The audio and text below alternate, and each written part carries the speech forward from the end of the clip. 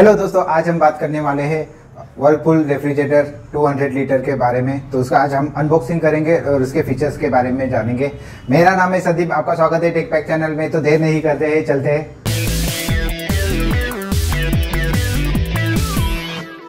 तो दोस्तों physical appearance की बात करेंगे तो तो ये जो वेरिएंट है, ये पर्पल कलर में वेरिएंट है। और इसके जो फ्रंट डोर पे है वर्लपूल की, उन्होंने ब्रांडिंग दी है। काफ़ी ग्राफिक्स काफ़ी अच्छे हैं फ्लावर्स वाले ग्राफिक्स दिए तो काफ़ी प्रीमियम और अच्छा लुक आ रहा है यहाँ पे। ये फोर स्टार वाला रेफ्रिजरेटर है, जिसके 133 यूनिट पर ईयर यूज़ होता है।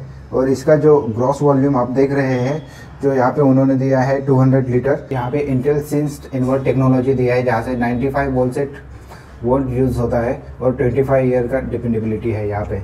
इंसुलेटेड कैलिबर टेक्नोलॉजी है auto connect to home inverter है और ये 10 साल की इसकी कॉम्प्रेसर वारंटी भी आती है। और हम उसके साइड में देखेंगे तो साइड के पैनल्स काफ़ी अच्छे हैं टॉप व्यू भी, भी।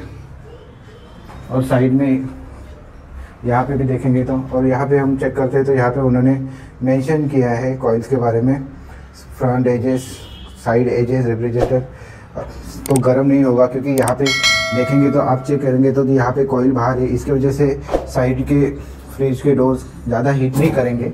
तो दोस्तों रेफ्रिजरेटर के अंदर हम चेक करते हैं तो यहाँ पे फ्रीज़र दिया है फ्रीज़र पे, और यहाँ पे आइस क्यूब का ट्रे दिया है तो आप यहाँ पे आइस प्लेस कर सकते हैं, और यहाँ पे रेड बटन है मतलब यहाँ के ऊपर बर्फ़ अगर बनती है तो आपको डिफ्रोस्ट करना चाहिए, और ये डिफ्रोस्ट का मैनुअल बटन यहाँ पे उन्होंने दिया है, जहाँ पे और बाकी के लो मिड हाई जो बर बढ़ने के स्पीड है वो मेंशन किया है यहाँ पे। यहाँ पे उन्होंने इंस्ट्रक्शन दिए है लो कब रखना है मिड कब रखना है हाई कब रखना है तो उस हिसाब से आप फ्रिज को मेंटेन रख सकते हैं और यहाँ पे मैजिक चिल करके लिखा है जहाँ पे आप यहाँ पे सब्जीज वगैरह रख सकते हैं अच्छी तरह से काफ़ी टफेस ग्लास है तो कंपार्टमेंट दो ए, एक ये है दूसरा और तीसरा एक नीचे है हम्म, हम्म। यहाँ पे हेक्सा फ्रेश शेल दिया है जिसका टेक्नोलॉजी यहाँ पे आप वेजिटेबल रख सकते हैं और सात दिन तक आपके वेजिटेबल फ्रेश रहेंगे, ऐसे उन्होंने कहा है और ये अंडे रखने के लिए है कंपार्टमेंट काफ़ी अच्छे दिए है उन्होंने। तो यहाँ पे इसके अंदर उन्होंने की दिए है तो अब फ्रिज को लॉक कर सकते हैं।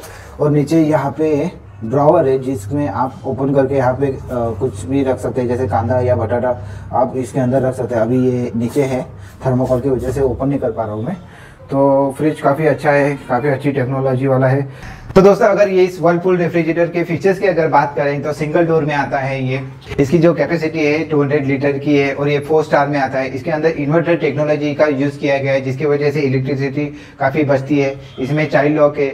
इन्होंने जो मेंशन किया है कि सात दिन तक यहाँ पे वेजिटेबल अच्छे रह सकते हैं। और अगर आपके घर की पावर कट होती है तो बारह घंटे तक दूध खराब नहीं हो सकता है। माइक्रो ब्लॉक टेक्नोलॉजी का यूज़ किया है, इसके अंदर, इसके वजह से 99 99 परसेंट बैक्टीरिया किल होता है इसके अंदर। तो काफ़ी सेफ़ और सेफ्टी के हिसाब से रेफ्रिजरेटर ये बना है। और इसमें अगर स्टेबिलाईजर को यूज़ करना है कि नहीं करना है तो ये डिपेंड करता है क्योंकि अगर आपका घर का वोल्टेज फ्लक्चुएट होता रहेगा तो आपको स्टेबलाइजर लेना चाहिए। अगर आपका घर का वोल्टेज जो है नॉर्मल है और 220 वोल्ट के अंदर यूज़ होता है तो फिर आपको स्टेबलाइजर लेने की ज़रूरत नहीं है। तो काफ़ी अच्छा है। अगर आप मेरा ओपिनियन चाहोगे कि इसको लेना चाहिए, नहीं लेना चाहिए तो मैं डेफिनेटली सजेस्ट करूँगा। तो आप ये रेफ्रिजरेटर के साथ जा सकते हैं सिंगल फैमिली के लिए और बजटेड रेफ्रिजरेटर है। काफ़ी अच्छा है। और इसकी जो प्राइस है अमेजोन पे साढ़े सोलह हज़ार तक आता है और फ्लिपकार्ट में मैंने देखा है, ये साढ़े पंद्रह हज़ार तक है। अगर आप ऑफ़र प्राइस में अगर इसको लेते हैं तो डेफिनेटली आपको अच्छी प्राइस में ये ज़रूर अवेलेबल होगा।